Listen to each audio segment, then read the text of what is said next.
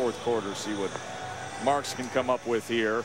it's this That- guy. that- I mean, That's a, that's a young Matt what Millen is- right there. What Let is he doing, Millen? That What? is beautiful.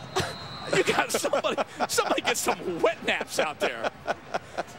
We need a cleanup in section 307. Little guys are waving the flag, and this guy, he waved the flag of There's- popcorn there's some my moments man ago. right there. He is my MVP tonight. It's beautiful. I mean, he's got the Stihl hat working. This is moments ago.